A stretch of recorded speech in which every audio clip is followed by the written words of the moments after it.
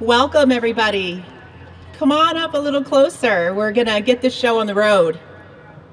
We'd like to welcome everybody this evening. Come on up. We have a really excited, uh, exciting evening planned for you. This this uh, event is close to all of our hearts, as it is to, I'm sure, many of your hearts as well. So we're um, grateful that you've all come out to share in this event together. I'd like to start off by uh, announcing that we'll have two uh, MCs this evening. So we've got Ed Baker and Kimberly Blake. Uh, so they'll be uh, your guides for the evening. Uh, we have some other speakers uh, throughout the night. We have Jeremy and David and Andy and Sarah, Dakota and myself. And you'll get to know each one of them a little bit better later on. Over the evening tonight, we're going to have a couple of breaks, and you'll see that in the program. If you haven't got a program, they're uh, out front um, here on the table, so you'll see what the timeline is. So during the breaks, we have uh, different providers here tonight who are uh, ready to talk to you about uh, overdose prevention. Uh, we have free Narcan to distribute. Uh, you can learn about fentanyl test strips, learn about low barrier treatment, so all sorts of interesting. Um, folks to talk to during the breaks. Um, I want to thank Ben and Jerry's. Uh, they're here tonight, uh, scooping free ice cream for everybody. Uh, they are going to close their window uh, when we have speakers um, talking, but they'll reopen during all of the breaks. Uh, and if you need a, a, a, porta potty, it's down in the left-hand corner here of the uh, the lawn area. Um, so Ed Baker uh, I've had the great pleasure of working with Ed for many years, and especially during this time of uh, organizing this event. Ed is the host and producer of the Addiction Recovery Channel. It's a public uh, TV show here in Vermont, and it's dedicated to the elimination of stigma. He is awarded the Vermont Recovery Jack Barry Award for Excellence in Recovery Advocacy in 2021 Ed is in personal recovery from addiction, and he is the co-chair of the Vermont Overdose Prevention Network. Uh, your other MC is Kimberly Blake, and Kim is the ambassador for Vermont's Team Sharing. She's a longtime physician in Burlington. However, her most meaningful job has been mom to Sean and Ned. Unfortunately, Sean passed away from a fentanyl overdose in August of 2017. You can imagine how close to her heart an event like this is. So we're proud to have these two people represent uh, the event for you this evening. Without further ado, I am going to bring Ed Baker. Well, thank you, Teresa, for a kind introduction. I'm going to ask uh, people to just kind of move in uh, a little closer, get a little closer, uh, together, just humor me and, and, and do that.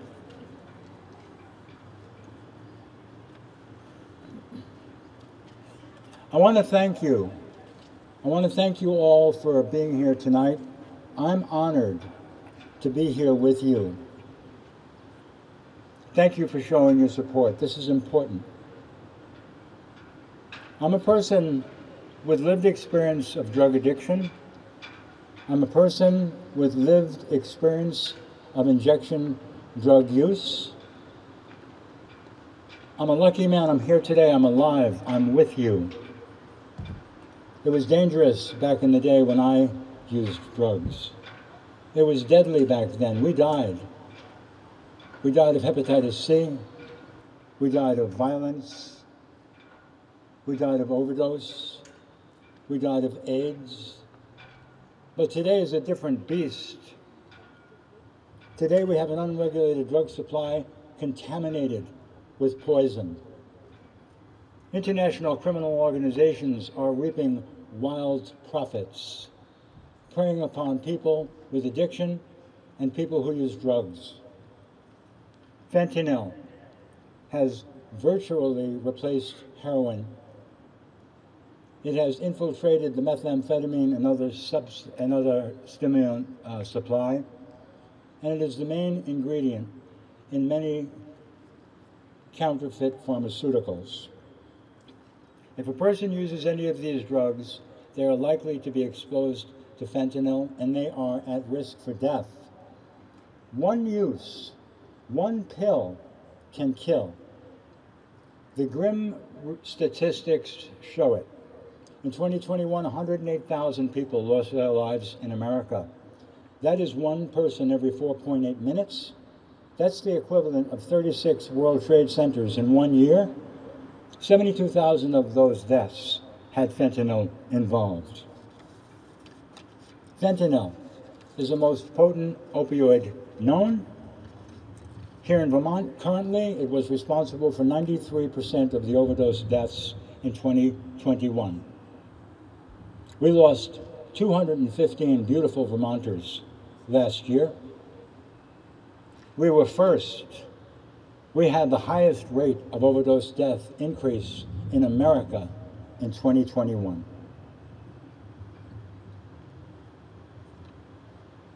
If there's one thing I'm sure of tonight, one thing I am certain of tonight, it's that this great pressure that we face together has bonded us deeply. We bond in suffering. I'm certain of it. Everyone with us tonight with two feet on this people's lawn wants nothing more than one thing. We want to end overdose death in Vermont.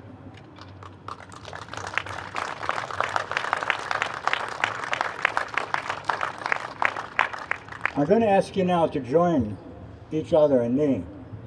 Join the parents of Team Sharing Vermont. In a moment of silence, a reverent moment during which Dylan, our friend from Montpelier High School, will strike his drum 215 times, 215 heartbeats, one for each Vermonter lost in 2021.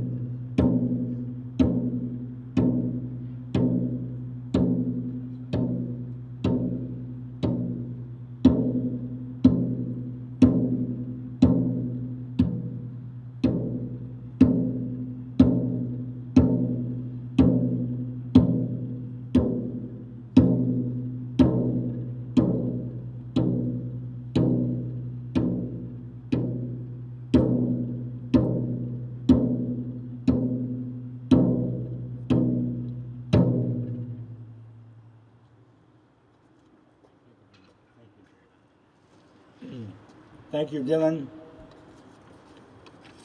It's not easy.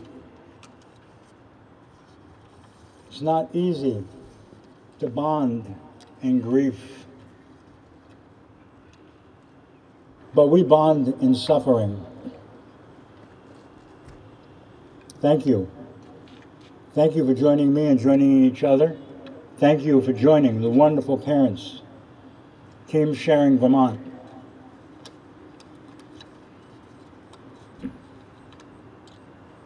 Tonight is about saving lives. Tonight is about one heart. Tonight is about no questions asked, no judgments made, no demands, no stigma. Tonight is about love, one heart. Tonight is about loving those taken from us. Tonight is about loving those still with us who use drugs Tonight is about protecting those at risk for death, those being preyed upon by international criminal organizations. Who of us does not need the protection of another? Yes, much is being done in Vermont.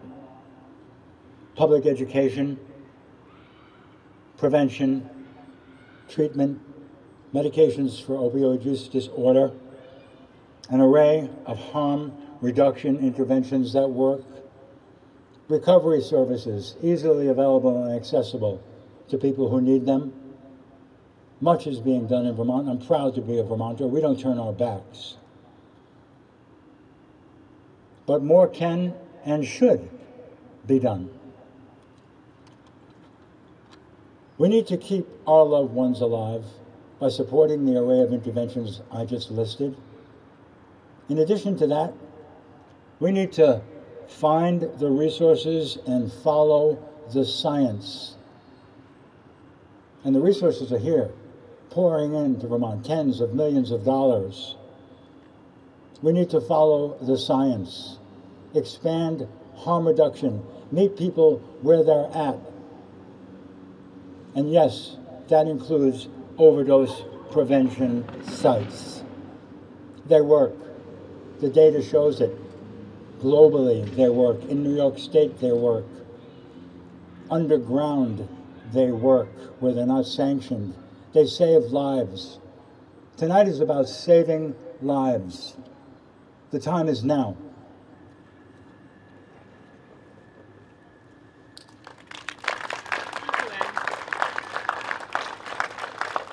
Hi, I'm Kimberly Blake.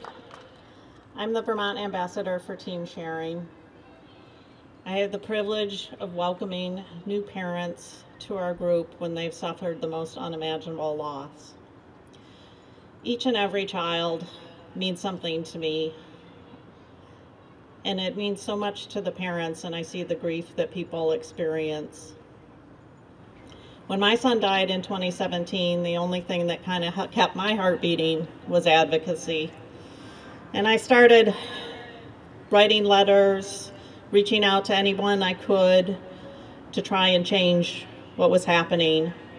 I became involved in the um, Purdue Pharma bankruptcy um, trial, and I befriended some of the people who were on the victims committee and I did advocacy in terms of protesting outside courtroom appearances, listening to testimony from the um, Sackler family, and I had the privilege and honor of being of one of 26 victims chosen to present a statement to the Sackler family as part of the bankruptcy.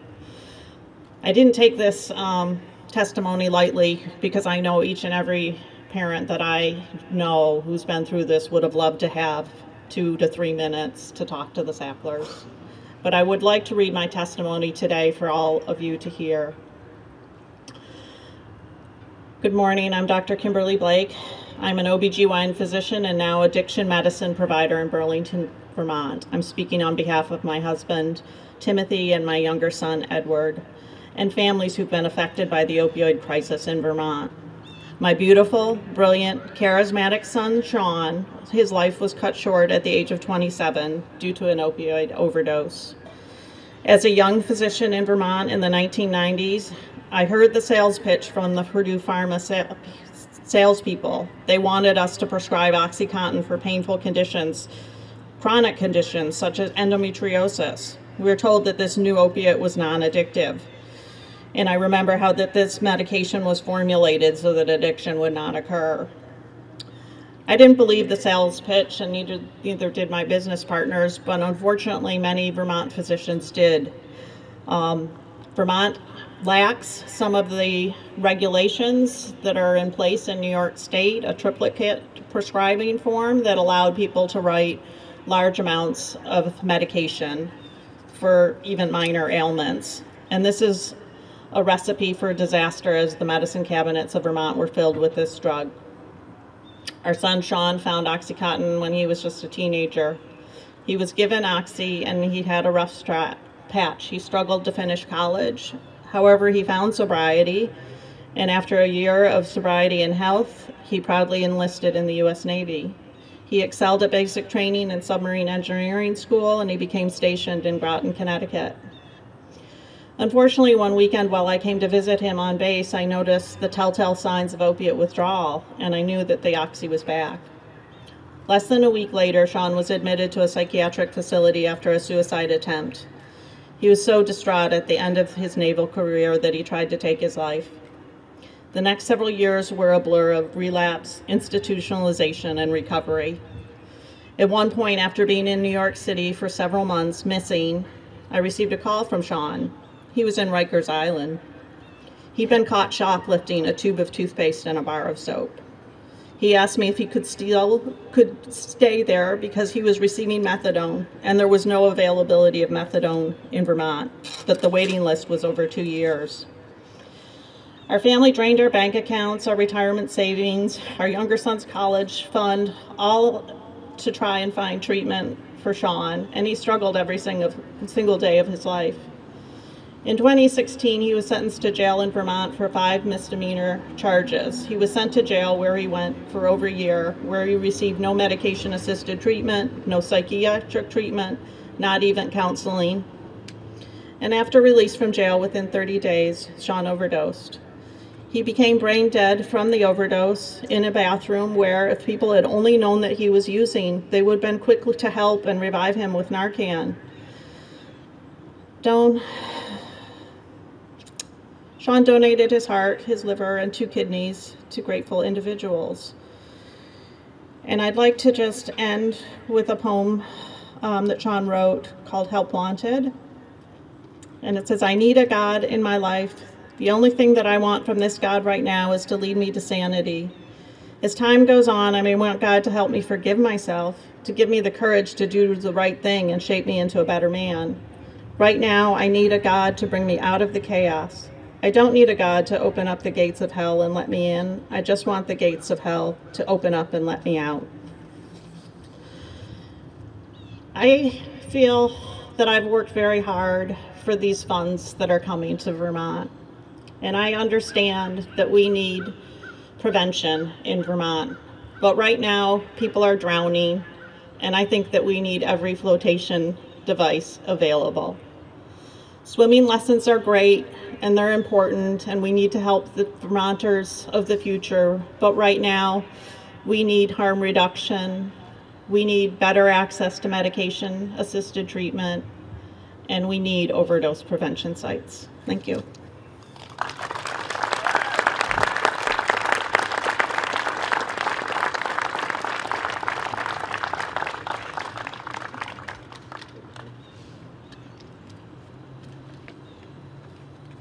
This point, take a break and visit our stations, and I think the ice cream truck will be serving.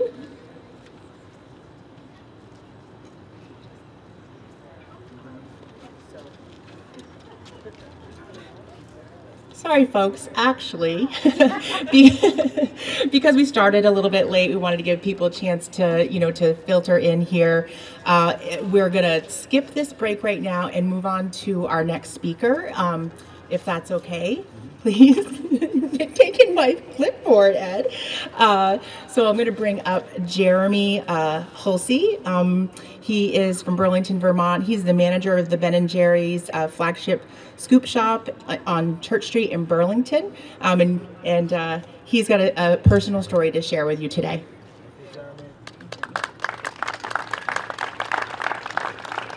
Hi, folks. As uh, Teresa mentioned, my name is Jeremy. I'm the uh, I'm here on behalf of the Ben and Jerry's team to first and foremost voice our support uh, for overdose prevention sites in Burlington. Um, I'm not here because I'm a subject matter expert or someone who's suffered um, the you know experienced the tragedy of losing a loved one to overdose.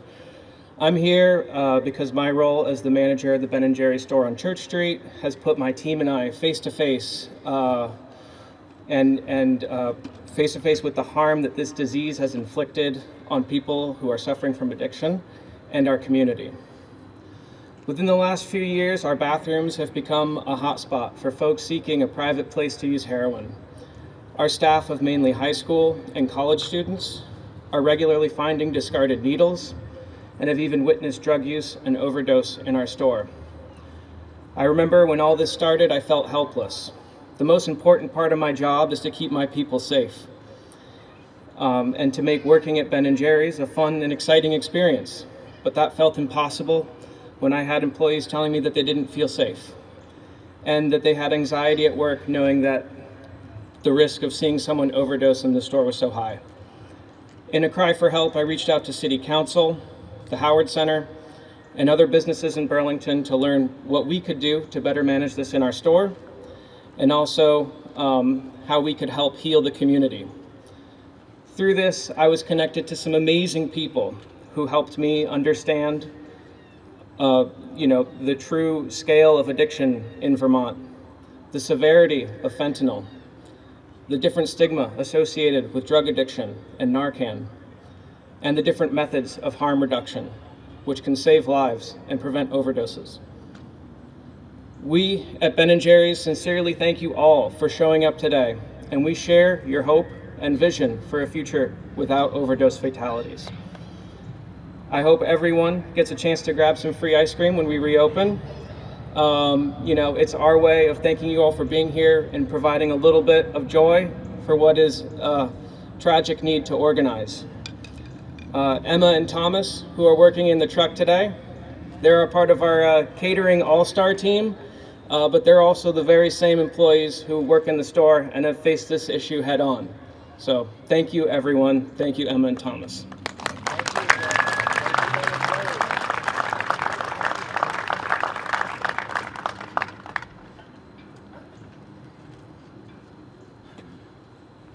Okay.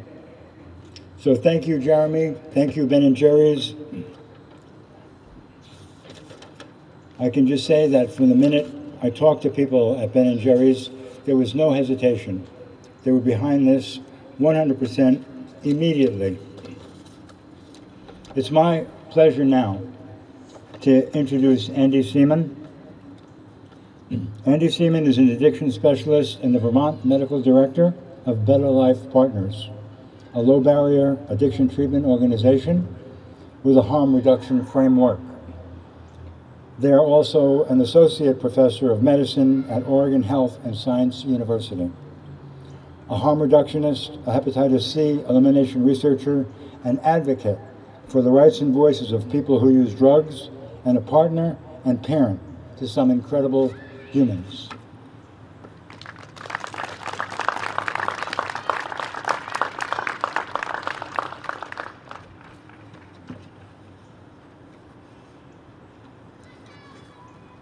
Thanks, Ed. Thanks, Kim. Uh, thanks, Jeremy. It's an honor to be here. Too often, when we hear about the overdose crisis, we hear about numbers. 210 Vermonters died from accidental overdose last year. That's one third more than 2020, which is one third more than the year before. In the US last year, 107,000 people lost their lives, making overdose the number one cause of death under the age of 50. These numbers are striking, but they leave me numb. So instead, today I want to talk about stories of real people mothers, fathers, children, uncles, aunts, partners, friends, and stories of a community, a government, and a culture that are failing them. A 42 year old man living with disability, eight months into hard fought recovery, was taking a shower when someone stole his money and buprenorphine, a life saving medication, an incredibly safe life saving medication for the treatment of opiate addiction. The state said they could not fill controlled substances, no exceptions. So desperate, he stared down withdrawal and said he knew he would use. He died a week later a 32 year old mother with young children, a brilliant spark of a human despite all the struggles and trauma she experienced beyond belief, ran into an old friend and had a brief return to use. She was picked up on a parole violation and sent to a cold jail cell. She lost everything her kids, her job, and soon her life. She was released to the street with a single day of bupe, missed a connection, and died three days later just trying to stay well. Her children will never really know her. A 37 year old father, in and out of recovery more times than he can count, each time leaving feeling judged and shameful after a relapse, came to Better Life Partners in severe withdrawal. He needed high dose buprenorphine to help him through withdrawal from an ever more potent, more dangerous, and more contaminated drug supply. The state denied our request for 20 milligrams of buprenorphine. The pharmacy wouldn't fill it, and he died a few days later in Burlington, just a few blocks from the proposed overdose prevention site that has been blocked by our government year after year. And so many more. Why?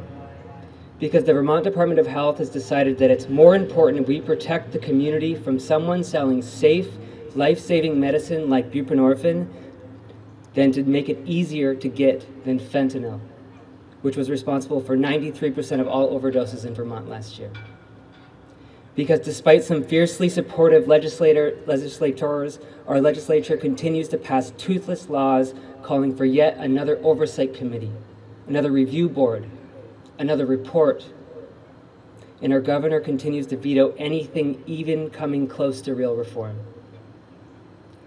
Because we continue to double down on a 50 year failed drug war, arresting our way out of this public health problem, throwing people in jail, and taking away the very things people need to get up in the morning and choose life.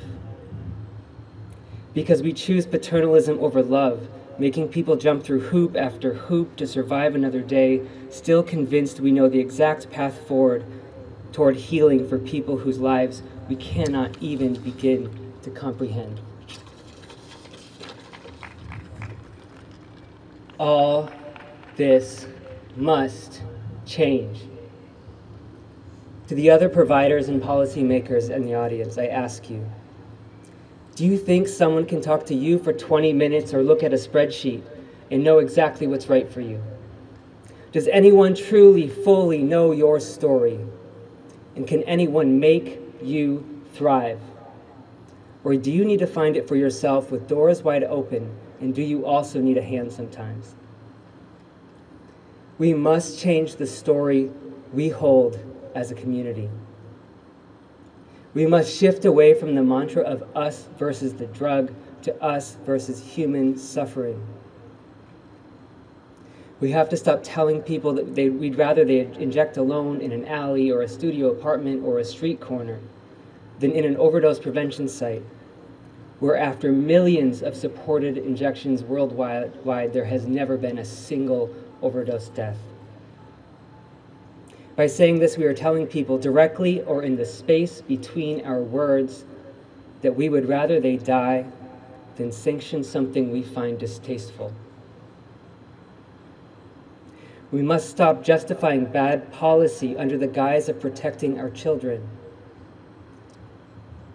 Last I checked, people who use drugs are our children.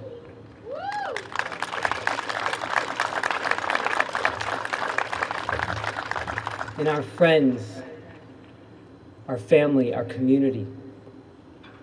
We need a sea change in how we care for people who use drugs. We need real action, and we need it now. We need overdose prevention sites now. We need removals of barriers to treatment now.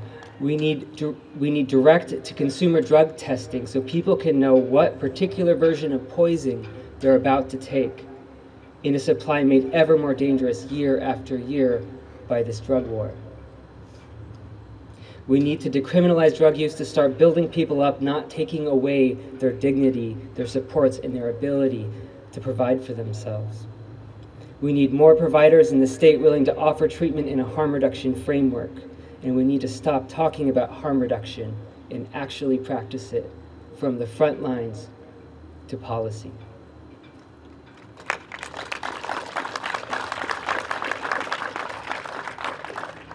And lastly, we need to start recognizing the miracles people who use drugs perform every day just to survive in this system and treat them as heroes to learn from because they have wisdom to share and experiences you cannot imagine. So let's stop trying. So let's start listening. Let's amplify these voices. And yes, let's thank all the frontline workers already doing transformative work. And let's do this by creating a system that makes this work possible. And let's thank the policymakers who I truly believe are trying to do the right thing. And as we do this, let's ask them to channel the voices of people who use drugs through their pens to radically reimagine what is needed in this moment. Thank you.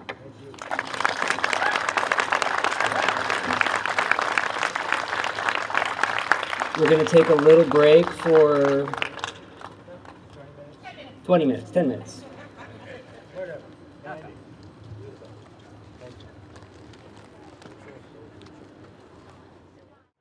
All right, everyone. All right, everyone. We're going to reconvene. What a night. What a beautiful night. What a beautiful crowd. Great to be here together. It's my great pleasure to introduce a person that is dear to me, Teresa Vezina. Teresa is the executive director of Vermont Cares. She's a leader in harm reduction across Vermont. Her heart is all in when it comes to working alongside people who use drugs. She has been instrumental in making this event happen, and that's putting it mildly, believe me. She is here to tell you her story.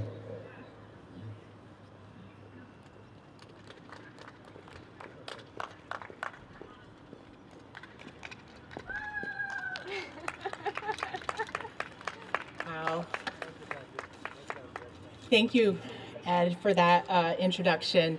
Uh, this is such an amazing turnout. Uh, I really am so grateful uh, to be standing here alongside all, of you while we shine a light on this most important issue. You know, I count my blessings every day that I'm still able to be here and share my story with you tonight. When I was preparing uh, for this speech, I thought about what am I going to say? Uh, how am I going to share my story with all of you? And it's a long story, so I, I knew I couldn't do that tonight. Um, and then I realized it really isn't my story that matters. Um, yes, I engaged in crippling drug use. I lost everything I had, including my dignity. And I'm lucky to be alive. But none of that really matters. I'm no better no more special than anybody else. I stand here now, free from problematic drug use, safe, successful in my career, but those things don't make me better than who I was when I was panhandling in the streets of LA, when I was smoking crack in the alleyways, uh, when I was making some pretty bad choices. I'm no better of a person now than I was then. And it has taken me years to understand that. What I found is freedom. I found freedom from chaotic, harmful drug use that was all consuming.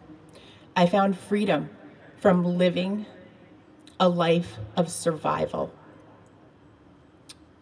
Too often, the accolades go to people who found their way, to people who've made it. And I don't want us to forget that it's okay to celebrate that for sure. Those are things we absolutely want to celebrate. But we want to remember that we can celebrate people who are struggling. We can celebrate people who use drugs. We can celebrate someone that just experienced an accidental overdose. Everybody deserves to be celebrated for who they are, no matter what.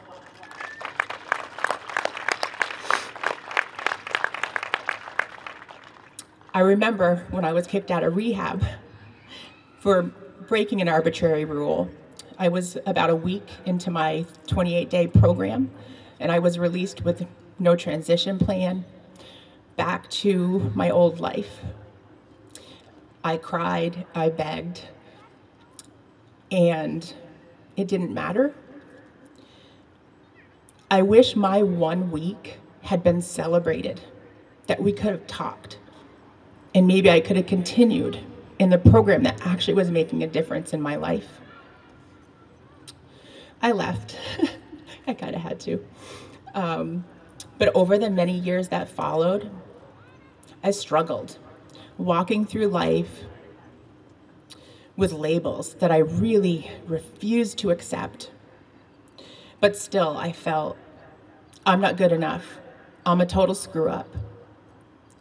I just need to settle. This is who I am. And I punished myself for all the bad things I did, for all the bad choices I made, for hurting the people that I loved most.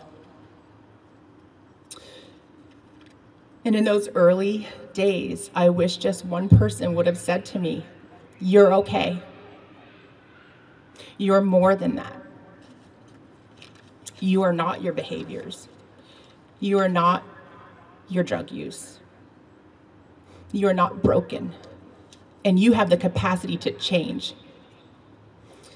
And luckily, slowly, one at a time, caring, loving people came into my life, and they showed me a level of acceptance and non judgment that started to change my story, that helped me to see something within myself that I hadn't been able to see before. It hasn't been an easy road, and it's a journey that will continue. And I'm forever grateful for every bit of the life I've lived, all the good and bad. I've been blessed having so many people in my life to mentor me, to guide me to where I'm at today, giving me the encouragement and strength to get me here to this podium to share my story with you today.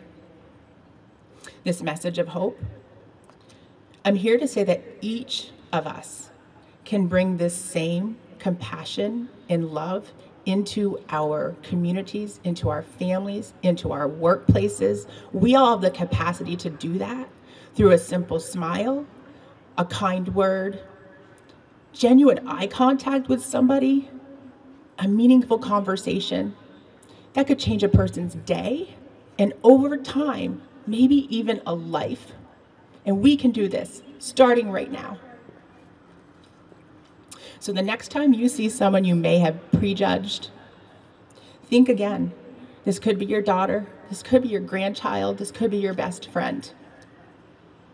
And remember, people are people first, and everybody wants to be seen and treated with respect.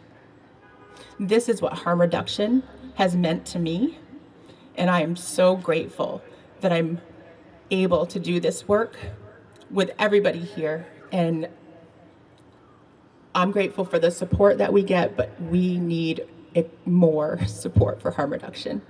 It is some of the most valuable work, and honestly, I wish there had been these kind of programs back in my day. I don't want to date myself, but um, there weren't. Um, and everything was pretty abstinence based. Um, and I think had I had someone like myself back then, um, it would have just been easier. I still would have struggled. You know, I just want to end this. I, it'd be really, I'd be remiss if I didn't uh, share this at an overdose awareness event. And, you know, so often we think about overdose and, and that it only affects people possibly who are you know, uh, struggling with a substance use disorder, who have uh, are engaging in you know problematic drug use, chaotic drug use. But the reality of it is, overdose does not discriminate. There, the more 80% of people who use drugs are occasional, once a year, twice a year uh, drug users. Those folks are also at risk. Everybody that uses an illicit drug right now is at risk for an accidental overdose. We need to find a way to open up this conversation, talk about it without judgment, make it a regular conversation. It's time to change the narrative. It's time to end the stigma and love people for who they are, no matter what is going on in their life. It has been such an honor to be here with you all tonight. I'm very grateful. Thank you. Please enjoy the rest of your evening. I am going to bring up our next speaker.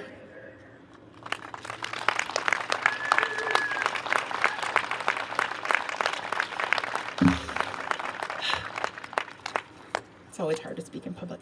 Um, so the next person coming up, uh, we have Dr. Uh, David Krag, and he is a professor of surgery at the University of Vermont. He is uh, with a team here. Um, he brought his uh, published evidence uh, on OUD together into one accessible location. He's also a member of Team Sharing Vermont. David, come on up.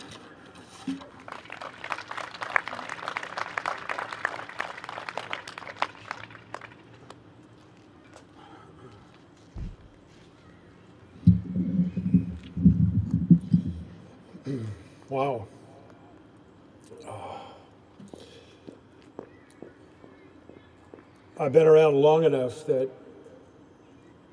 I held a young man who died of a very strange new disease. Young man, he developed a weird infection and died. And uh, we learned later that was called AIDS. And then several people died. And they kept dying until something happened. They advocated.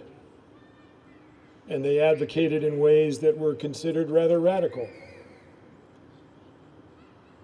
But they accomplished something. They accomplished a change in the thinking of the people who provide funds for research, and the people who provide care for people with that disease. Later, when we came to Vermont in the early 1990s, breast cancer was kind of like AIDS. It was in the closet. Nobody talked about it. There was no coordinated care. And that just didn't seem right. And so there, this thing emerged, this group of women, Breast Cancer Action Group, and they modeled their efforts after the AIDS activists. They called themselves the Breast Cancer Action Group, and we hosted them in our house. And because of that, I started, I, I simply put up a little sign on my office door at UHC that said Breast Center. There wasn't such a thing before that. And we got coordinated, and, and then things evolved. And it involved a change of thinking. And now, of course, they, they, it's been successful, and many things are changing. Well, here we go again. Now we got another disease. And everybody here knows what that is. But it's like the early days of AIDS with stigma and bias. It's like the early days of breast cancer with it being in the closet and not wanting to talk about breasts and things like this.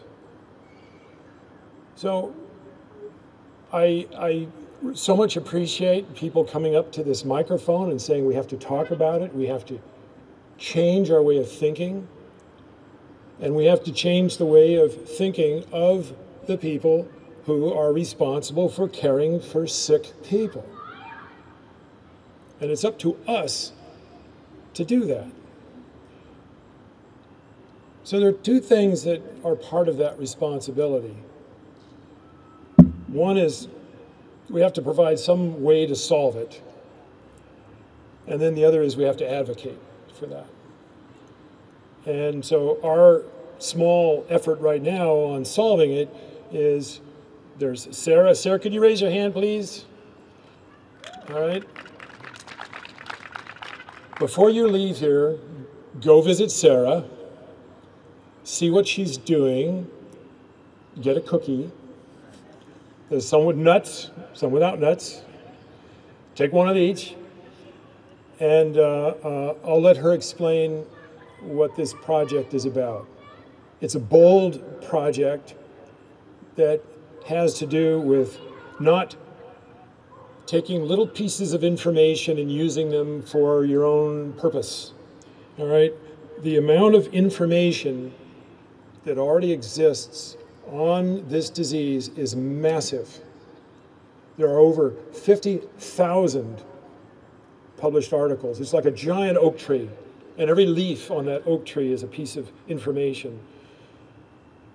People look at that big oak tree, and the best they can do is take a little leaf and say, Oh, this is what I'm going to use. That's called evidence. It's not. It's out of context.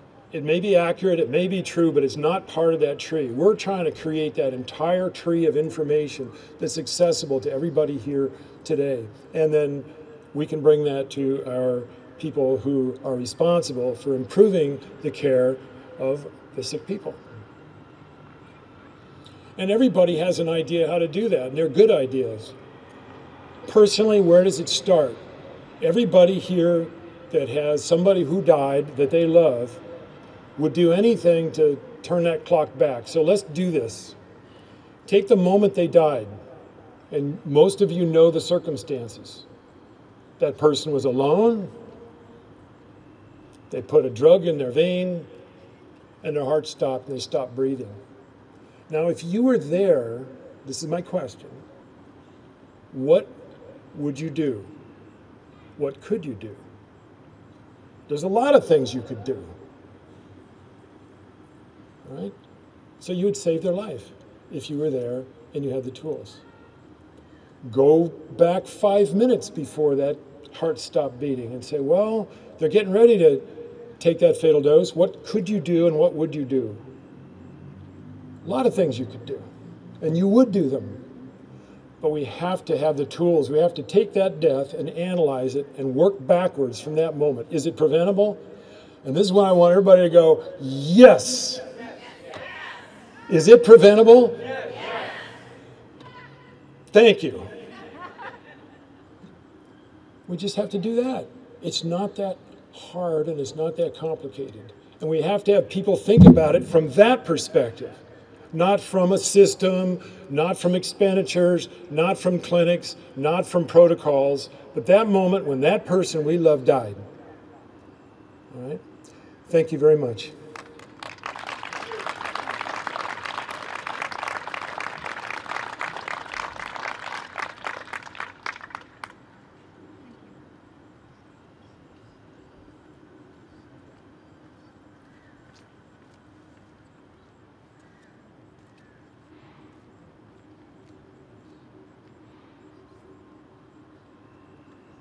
Wanted to share a little bit of Sean's uh, poetry with you guys tonight. I read the, the brief poem, but this is one that he wrote about love. Okay. Love, have you felt it take over your soul? Burn your insides like flushed coals. Do you know that feeling when your heart takes over your head? When you wake up next to her in bed? The deadly saturation of infatuation. It always starts with celebration. Then your mind fights back with complication. You're feeling in a state of excavation. Why is someone always digging? Maybe you're the owner of the shovel. Have you felt it take over your soul? Burn your insides like flushed coals? Do you know the feeling when your heart pounds like a bass drum? When she whispers in your ear that little hum? The next sta stage is always as seems dark, a little bit like a debt to a loan shark. Your little taste was too much to chew. Won't someone push the undo? I implore you to follow through until you get a new point of view. Have you felt it take over your soul, burn your insides like flush coals?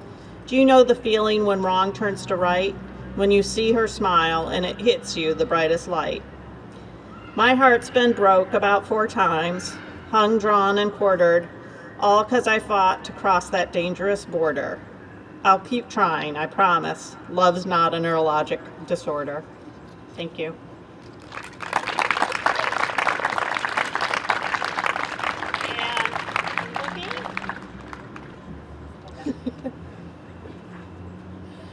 I'm so pleased to introduce Dakota. Thank you so much for being here. Thank you for having me. Hello, everyone. Um, I'm Dakota. I am the overdose prevention outreach worker for the AIDS Project of Southern Vermont. So, kind of what I'm responsible for is, you know, helping really engage the community. Um, you know, get as much Narcan as we can out on the streets, but equally as important, you know, building a relationship with people. Step up. I thought so. Um, but equally as important, you know, building a relationship, a genuine relationship with people, because, you know, oftentimes that's all that you need sometimes. Because, you know, when I was out on the streets and running around doing what I was, whatever I happened to be doing, you know, there was always people in the background that recognized my problematic drug use for what it was, you know, a social and economic issue, not some moral failing on my part. And, you know, somebody was always there with kind words, just interested in making sure I was staying safe and staying alive and you know, there to open the door to whatever kind of, you know, treatment I happen to be interested in or whatever road I wanted to go down. And I have a lot of friends that didn't have that kind of support or didn't have didn't th- at least thought they didn't have anybody, you know, in their in their corner doing that. And you know, sadly they didn't they didn't make it you know, so we have a lot of great services now, and there's a lot of great people out there doing great things to, to help people, but for myself, and I don't want to speak for everyone, but I feel that building that genuine connection for people and and being there is is you know the basis of what harm reduction is. I'd like people to be safe. Ideally, you know, they, they would get into recovery. But, you know, as long as they're safe and they're staying alive and they know that people love them, that's all I can do. Um, yeah, that's all I really have to say.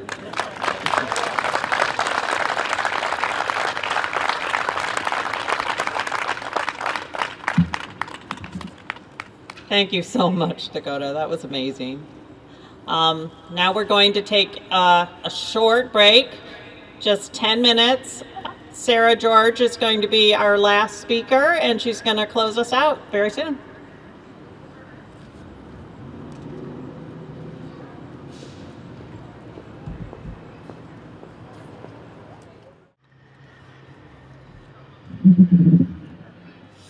All right, everybody. I uh, hope you've enjoyed this uh, short break. Um, I want to introduce our, our last speaker of the night, and it's a great honor. Sarah George, I've had the opportunity to work beside her in so many different um, ways, and uh, I'm really honored uh, that she is able to join us tonight. Uh, Sarah is the Chittenden County State's Attorney um, who has used her position and her power as a prosecutor to advocate for harm reduction approaches to a true public safety. Sarah understands the importance of meeting people where they are and providing the necessary supports and services to anyone and everyone who uses drugs. We are so excited to have her here to close us out this evening. So please, everybody, come up and give her a great big welcome.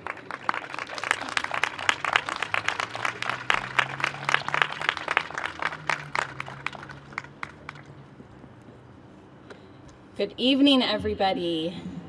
Thank you all so much for coming to this event. Thank you for everybody who put this together. Uh, my girlfriend just texted me from Burlington that the rain is coming. So thank you as well for sticking this out and for being here till the end. Um, in 2011, my first year as a prosecutor, all of 28 years old, I got paged and summoned to a scene. All I knew upon arrival at the home was that it was an overdose death. What I didn't expect to see were the parents in the living room sobbing, the fiance in the kitchen sobbing and shaking, and the beautiful 24 year old girl in her bedroom dead. Killed by an addiction that started with a prescription for a knee injury, an injury she received while playing soccer. What I didn't expect to see was a scenario that absolutely could have been me a soccer player from a good family. That was the day that I saw myself in the overdose epidemic. I saw how the stigma of substance use permeates so deep that even 24 year olds with loving parents cannot escape it. And I wondered if this happens in this home, how can we ever help the most vulnerable, the most targeted, the most stigmatized, the most traumatized, the most hurt, the most unseen? Nearly 12 years later, I have been to countless more scenes, received countless more calls, and my email fills with autopsy reports. Young and old, men and women, some with criminal histories and others with none, some with families left behind who had no idea, and other families who watched their loved ones struggle and get strangled by every inch of the red tape that our state puts around them. All found dead in their homes, hotels, parks, public restrooms, and cars. 12 years later, hundreds of Vermonters lost. If you hear anyone, whether they're elected officials or not, talking about public safety and the utmost importance of public safety, I beg you to remind them that harm reduction is public safety.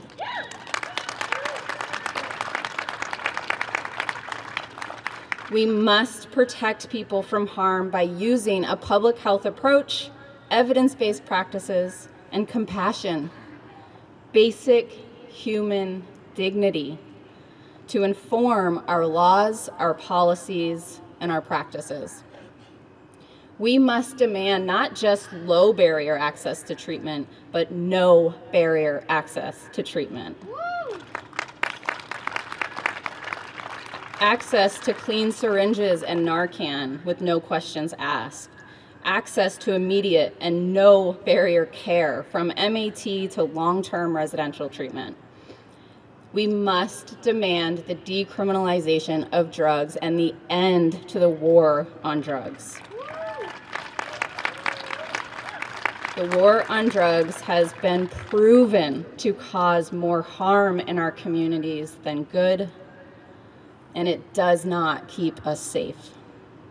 We must demand safe consumption spaces because public safety requires that we eliminate unsafe consumption spaces, which are all around us every day, from our parks to our Ben and Jerry's bathrooms. Together, we can turn the tide on this epidemic, we can move towards a state that doesn't just say this is a public health issue, but actually acts like this is a public health issue. With every decision we make using evidence based practices, a public health approach, compassion, and an absolute refusal to lose another Vermonter in this way, we will save lives. We will save Vermonters. We will guarantee that not one more person dies alone in a park, in a hotel, in a bedroom, or in a bathroom because we've chosen to value their life more than we value old, archaic, and fatal policies.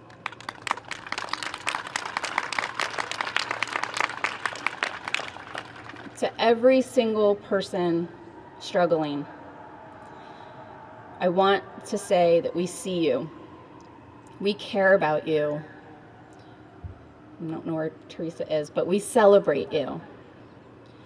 And we pray that you escape that chaos that Sean talked about. We pray that you get the services that you need to get through this so that you can one day also be a voice of hope and prosperity despite so many obstacles that we have put in your way.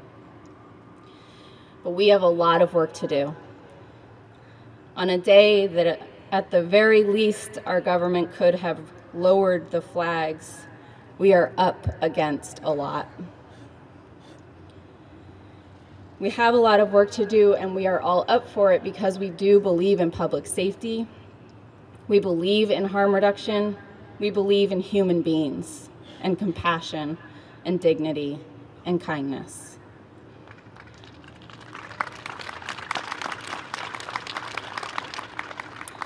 I'm grateful for all of the folks here, every single person here, every person doing this work the people on the ground doing this work and talking to the people in our communities who are struggling and hearing their stories is hard work. It is work that legislators hear about but often don't actually do. It is work that elected leaders like me, prosecutors, rarely hear about until it's too late. Or there are places where prosecutors are actively a part of the harm we all need to be held accountable. And it's those of you doing this work that need to hold us all accountable. Thank you for being here. Thank you to all of the organizations that are here and for doing the work that you do. I have faith, I, I am optimistic that this session we will get some stuff done, and I'm looking forward to doing it with all of you. So let's do this. Thank you.